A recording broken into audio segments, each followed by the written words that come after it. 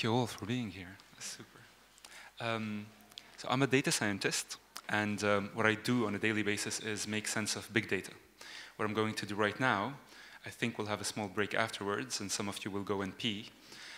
What I want to make sure of is that the next time you pee today, or the next time you actually pee, is going to be an experience like no other. Just a unique experience, something so mind-blowing, you will not understand what's happening. So this is the goal of this, this talk. Um, I'm using a word del deliberately here, which, deliberately here, which is hacking. And I'm going to do this to change slides. And we have this idea and this image of hackers, teenagers behind their computers with uh, dirty fingers playing, playing around with their PC. But the truth is, uh, hacking is more than that, is different. Uh, hacking is the very essence of in, uh, inventions and the way science is done, actually.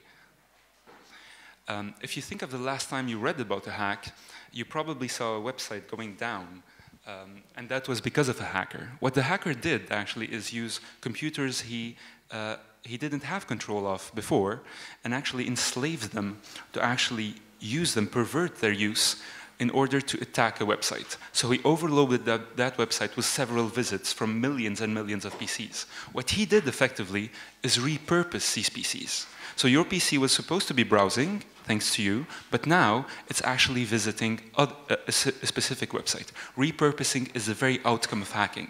So if you think about it this way, uh, Claude Monet, the painter, is also a hacker. If you look at this painting, and if you look at the white, which you probably can't see as white here, um, the, the white there, the shaded white, isn't white at all. It's not even gray. It's actually blue. And Claude Monet used blue to represent shaded white. He hacked the color blue. He repurposed it. If you think about um, Sylvia Plath and all poets, actually, um, I boarded the train, there's no getting off. Using the train image to explain that now she is pregnant and childbirth is something she, she will not be able to stop is genius because she hacked the image of a train that we uh, of which you, can, which you can't leave. And even more to the point is Arnie. I, am a big admirer of weightlifters, actually. I think they're, uh, I mean, what they do is amazing, right? You have a body that is supposed to be uh, built for survival, right? You're supposed to survive with this body, but they pervert the use of this system, this device, to make it, uh, to make a muscle machine out of it, right? That you, you just hack the body. Arnold Schwarzenegger is a body hacker. Huh? And of course, the best hackers of all are the Japanese. Um, this is an image of a kid uh, that was given um, a small, um, you know, small costume with a mop on it. So you take a kid and a mop. A kid is supposed to crawl on the ground. Yeah, I know, exactly. A kid is supposed to crawl on the ground. The mop is supposed to clean the ground. So re you repurpose a kid. You, you basically hack a kid, right? Amazing. Now, now they have a now they have a use. Sorry, did I say that? Um, and so if you look at the, uh, at the hack as a, as a process, you start out by understanding a system, say the baby, um, connecting the different dots once you broke it down into building blocks, and then you try and repurpose it, just to flip that switch to make it do something else. So if you think of a goose that lays down white eggs, like in the picture, now we're going to repurpose that goose to give us golden eggs. And that's where it started with happiness. Um, what I had to do actually is to hack the brain and the, brain, the, the, way my brain worked. I had experience hacking my own body, dropping down to 7% body fat and stuff like that. Uh, but the thing is about the brain, it's not geared for happiness. It does something completely different. Your brain is supposed to survive. That is the sole purpose of your brain. Hmm? So what we need to do is actually take down these building blocks in the, in the brain and gear it to happiness.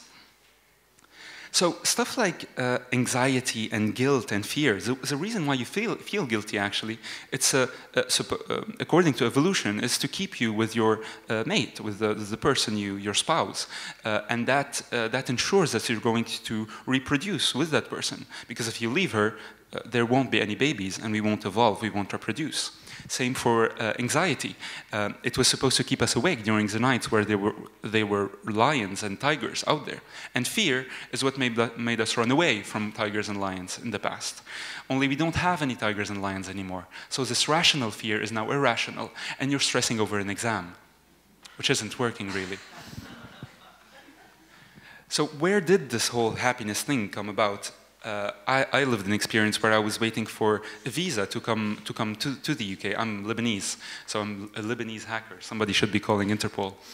Um, so the, I, I, was simply waiting for that visa, and it felt as if my whole life was hinging on that single visa, which was amazing to me. And uh, because my mind is analytical and logical, I just drew my happiness at that moment, and it, it looked like this. What is happiness? What is it? Is it the spike? Is it that B point? Or is it the A, the actual level? And how do I actually increase my happiness? Do I, do I make sure I have more spikes and just sniff cocaine every half hour? Or, sorry, kids around? No. Uh, or do I actually raise my level of happiness and raise that bar, that A? What is it exactly I need to do? And hacking actually comes from the word, it's funny, we, it's TED, at TEDx Hackney, but Hackney doesn't mean, and it doesn't have anything to do with hack. Hackney means, I checked, I checked. So Hackney is a horse uh, used, to, uh, used to move around things. That's Hackney. Uh, hack actually uh, comes from the uh, German word, word, or Old English, hasian, which is cutting down things into small pieces. And what we're going to embark on right now is eight months of research brought, brought down into eight minutes. Ready? Yeah.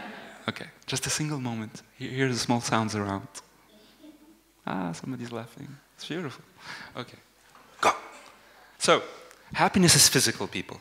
Sleep and workout, you can't, do, you can't do without. You need to sleep, you need to work out. Scientifically proven. The two last ones are a bit more counter, counterintuitive. They're fasting and smiling. If you actually smile, I actually feel happy inside right now. And if you smile, same thing, right? It just reflects what, you, what you're doing. It's amazing. Um, and the reason why fasting actually is, uh, is cool, I fast on every Saturday now, uh, is because fasting does what cocaine does, but uh, for a lower price. Um, thank you. Uh, it, it releases a, hormone in your brain, which is dopamine, right?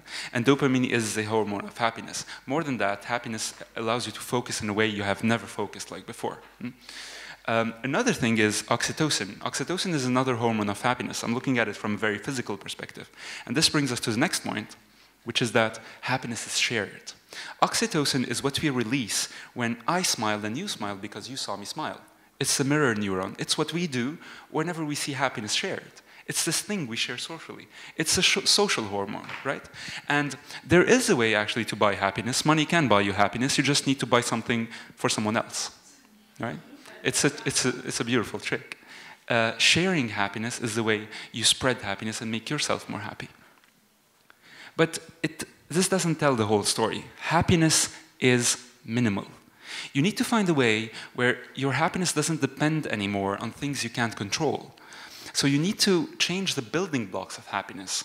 Because if you're hoping for a career change or for a marriage or for your kids to grow up to actually be happy, that's not working out. And your happiness is kind of the spall on a mountain. The second you push it, it's going to fall down and never go up again.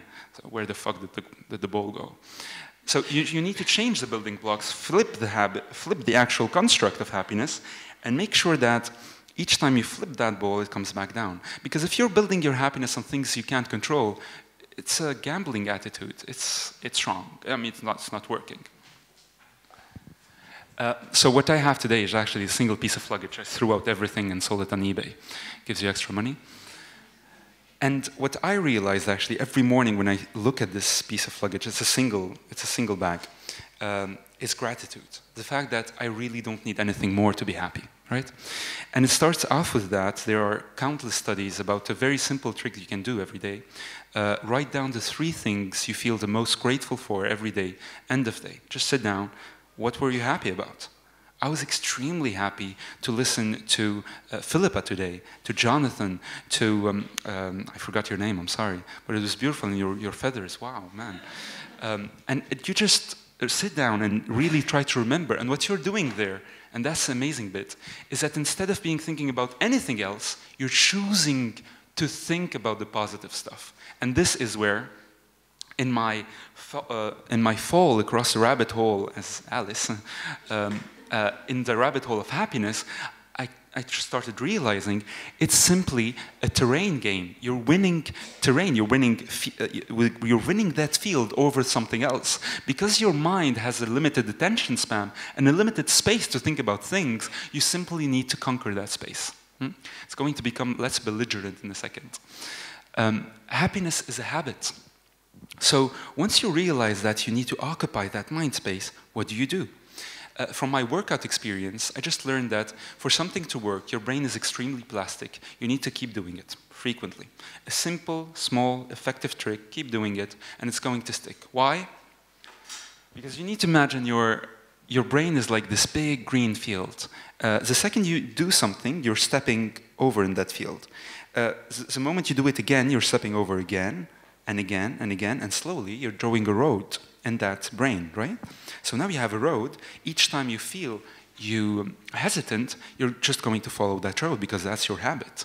And the trick here is to change our existing habits. So until now, say, take that uh, alcoholic person. He's been drinking to feel happy.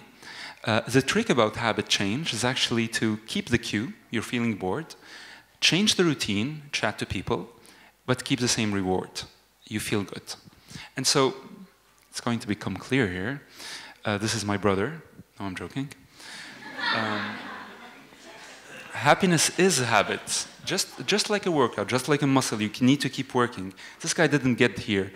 Not, not like it's an accomplishment, but this guy didn't get there uh, just by going to a workout, you know, two days a week. He actually went there every single day. So it's a, it's a habitual thing. It's an effective, the, the word you can't see there is frequent, simple, and effective. Something very simple, very effective.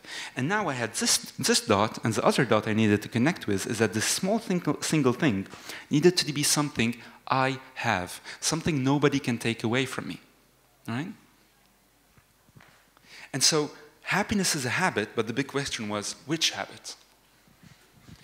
Um, this is where I actually jumped into Stoicism and Seneca. Seneca used to dress as a, uh, uh, with very cheap clothes and walk in the city. So he was a very glamorous uh, philosopher. Why? Because he wanted to practice misfortune. He actually put himself in a situation where the worst was happening. What's the worst that could happen? This is it. And I'm still feeling okay about it. Stoicism is about three things, and the reason why Bruce Lee is here is because he was a, a, big practitioner. You need to practice misfortune, simply place yourself in a, in a thought frame where, you're seeing actually the worst thing that could happen to you. Train your perception to understand that good and bad don't mean much. What you need to focus on is learning. So if someone tells your work is really average, what you, what you need to think about is rather, I am learning so that my next piece of work is going to be better. And the last point is that everything is ephemeral the one down there. So sto if Stoicism helps you turn these bad thoughts into good ones, that's a habit. How do you make sure that you have more positive thoughts? And this is where happiness's flow comes in. Flow is that moment where you don't feel time going by anymore. Either you're dancing, or you're writing, or you're doing your, your favorite thing, maybe it's uh, watching a series even, anything that actually makes time stop, uh, uh feels like time stops, right? And so you need to do more of what makes you happy, um, baking that into your day more and more. And that is where I actually started having a meeting with myself. Uh, it's a calendar. It's a calendar event every week, uh, Saturday, uh, because you need to commit to it one, one, day, uh, one way or another. And I simply sit down with myself. The first time it was very awkward. It was like, "Hi, hey man, how are you?" Uh, why have you been snoring? I haven't, actually. Um, and you, you, slowly actually break it down into the, the several health aspects um, and uh, dive into what, what, what it has been that's been troubling you during the week. Just time for yourself. It's an hour long. And then I think the biggest insight came in, happiness is actually not that important. And whether what I'm going to, what this talk is going to lead to uh, actually reflects that or not, it's still an important insight in that happiness and unhappiness are just um, so unreliable, so, um, uh, so, so, so not under your control, that maybe there's something completely different you need to focus on. And this is where this appeared, actually. I realized that A and B don't mean anything. It's actually C. It's a curve that exists in another dimension, something completely different, um, that needs to occupy your mind. So it's not really happy thoughts you need to populate your mind with. It's just focus. Focus on anything, really. And it will still um, put your mind in that flow space where you can actually feel um, just positive, better about things. And this led to uh, a big dot connection. So I had all these insights. What do I do with them? I just pulled them out. And, uh, and of course, I'm a data scientist. Um, I have a company today. Uh, we're working on um, uh, linking applications to payment cards and powering applications.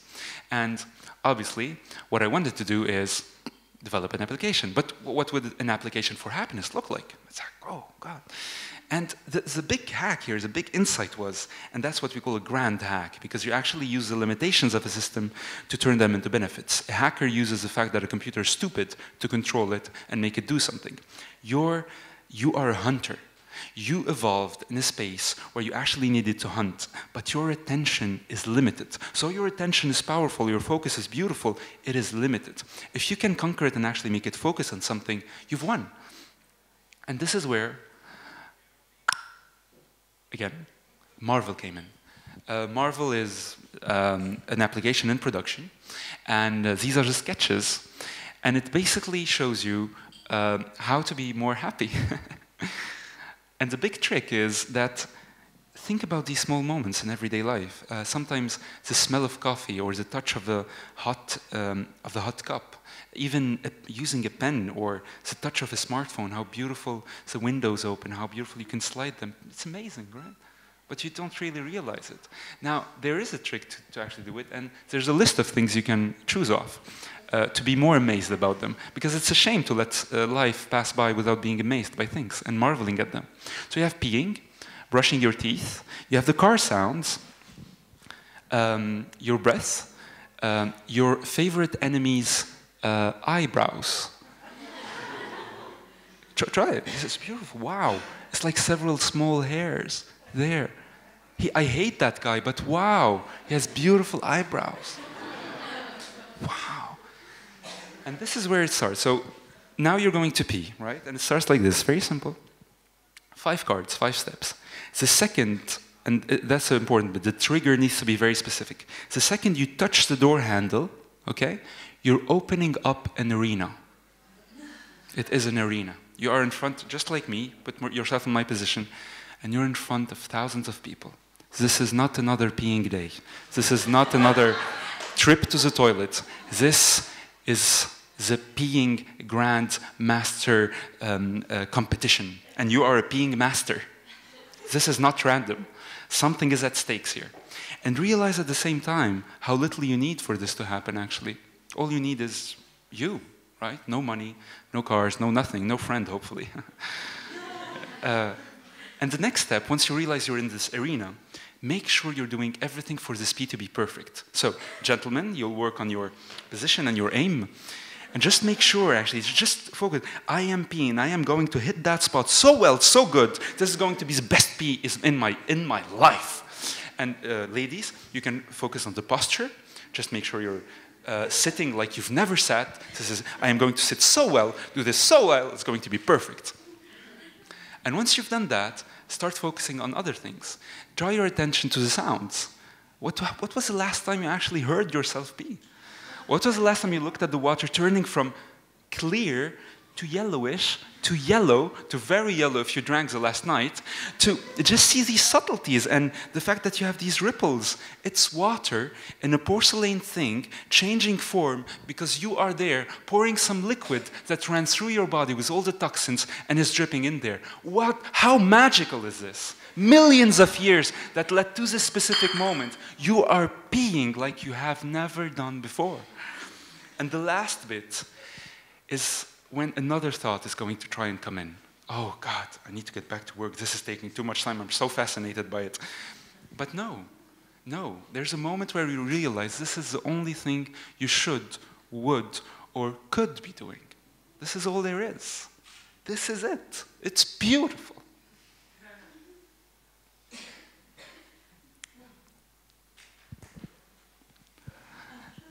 And this is how you simply marvel at reality. Instead of being, now I can actually touch this microphone and feel how unique this touch is. It's very different from this or from anything else, really. Aldous Huxley, in his last book, um, after Best of, uh, Best of Worlds, uh, the, called, the, book was called Island, and um, the guy ends up on, uh, in a shipwreck and ends up on an island. And on this island, there are people that are tremendously calm, beautiful, focused people that enjoy life like uh, very much. And there are parrots on this island. And the people of this island uh, told the parrots, uh, taught them to say attention, attention, here, now, all the time, right? To remember that all we have is actually what we have in our hands, what we have right now. We don't have the luxury of having these parrots. Somebody can play it uh, if you want. But we don't have it. So we need to bake these parrots into our lives. These constant reminders that every single moment is so unique, so beautiful. So I'm going to close my eyes. If you grace me with your applause, I'm just going to enjoy this moment like never before. Thank you.